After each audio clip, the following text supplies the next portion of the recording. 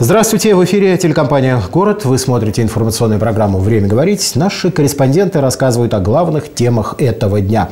Ну и вначале коротко о некоторых сегодняшних новостях.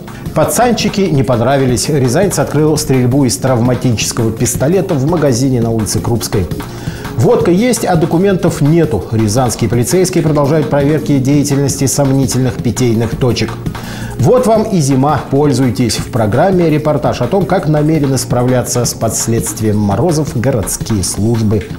А теперь обо всем подробнее. Вчера вечером стало известно, что в Рязани на улице Крупской пьяный мужчина открыл стрельбу из травматического пистолета. Так что столичные нравы, как мы уже предрекали однажды, перекочевывают и в провинцию.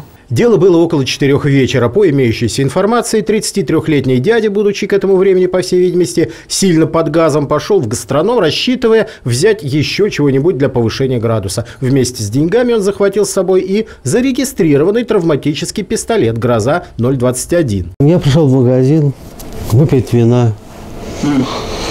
Потом у нас не, не случилось э, соответствие с, с ребятами, которые там пили. Один из них вытащил пистолет.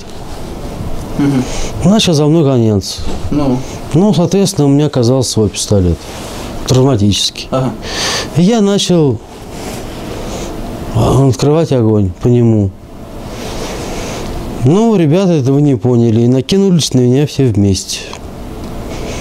То есть силы были неравны. Да, и сила была неравна. Стрелок, пребывая уже в полицейском отделе, пояснил свои действия так. Пацанчики не понравились. В итоге один человек ранен, один в полиции, а весь честный люд пребывает в смятении. А вдруг в следующий раз кто-то из нас не понравится какому-нибудь поддавшему обладателю травматики. Какая-то бредовая ситуация складывается с этой самой уличной стрельбой. Палят на улицах, на парковках, после пустяшной ссоры, а теперь вот и просто так, по пьяни.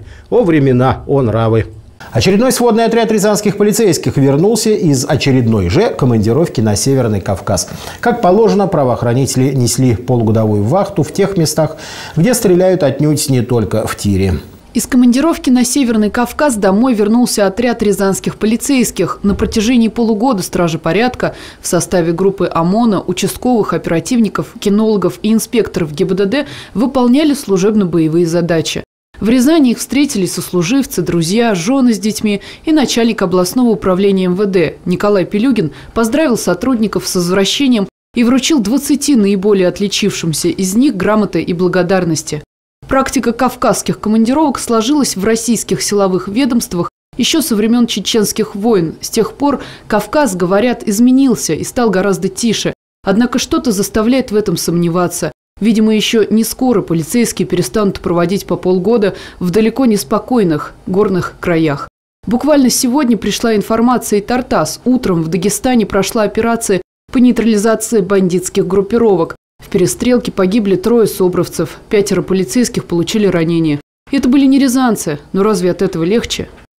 Продолжаем программу. Три года назад в России следствие получило независимость. Дело в том, что с 15 января 2011 вступил в силу федеральный закон о Следственном комитете Российской Федерации. И главный ноу-хау заключался в том, что Следственный комитет начал работать вне системы прокуратуры. Подчинение ведомства напрямую президенту должно было обеспечить, и надо отметить, обеспечивать объективность следствия. Сегодня в программе фрагмент нашего проекта «7 минут» с участием первого заместителя регионального следственного управления Александра Булаева.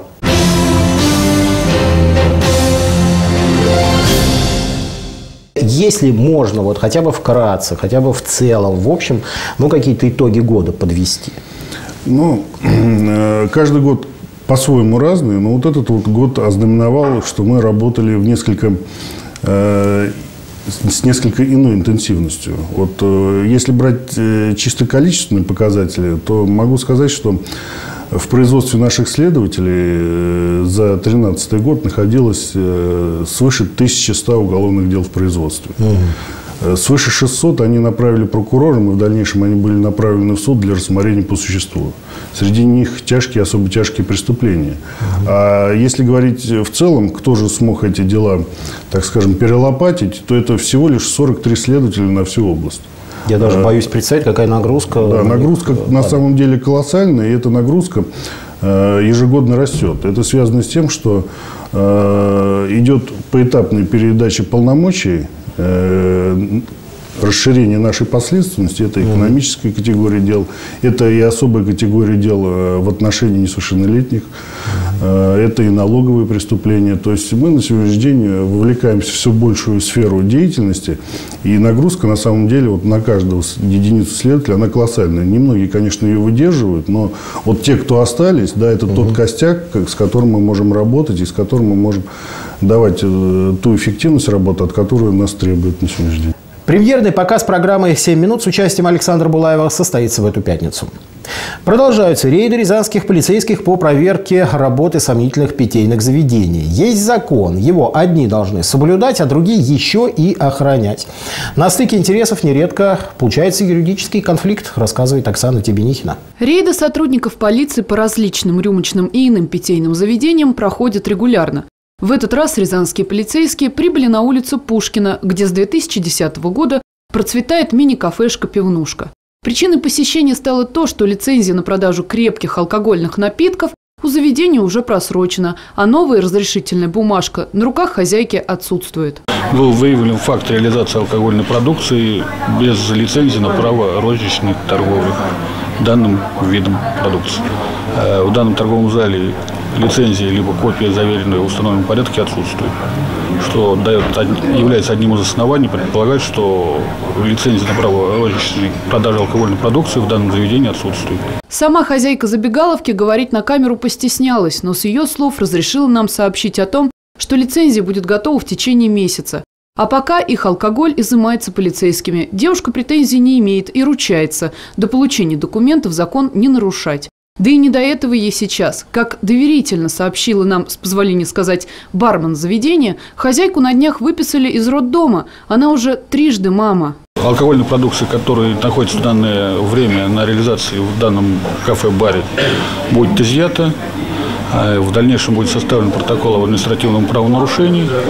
Э, штраф, э, предусматривающий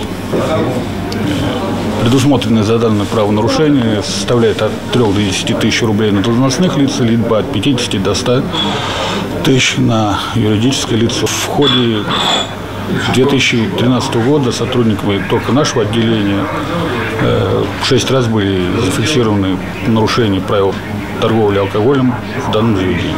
Ну а со слов сотрудников полиции, владелица кафе штрафы платит исправно. А означает это лишь то, что нарушение для нее, как и для многих других ее коллег, вполне нормальная вещь. И это, видимо, в нашем государстве вполне в порядке вещей.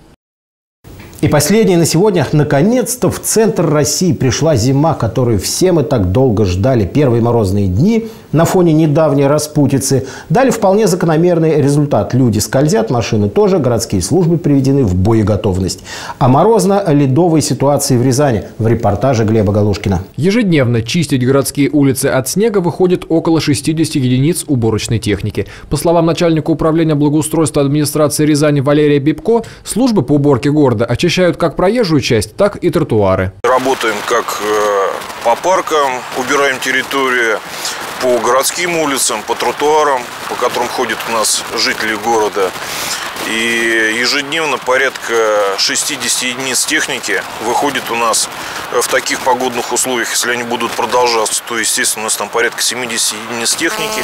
Работники ГИБДД предупреждают, что сейчас на дорогах образуется гололед и так называемый снежный накат. Пешеходам необходимо также помнить, что тормозной путь у автомобиля в такую погоду сильно увеличивается. Пешеходам необходимо помнить, что скользко не только им, но также скользко и э, транспортным средством. А, в зимних условиях, в условиях гололеда и снежного накада, тормозной путь увеличивается в несколько раз. Пешеходы об этом а, часто не, не задумываются. Например, при движении автомобиля со скоростью 60 км в час на сухом асфальте тормоз... остановочный путь его в среднем составляет 50 а, метров. А в зимних условиях этот тормозной путь увеличивается, а, скажем так, до 100 метров, может быть, и больше. Коммунальные службы, как сообщили нам чиновники из город администрации, будут вывозить снег с рязанских улиц и тротуаров в ночное время.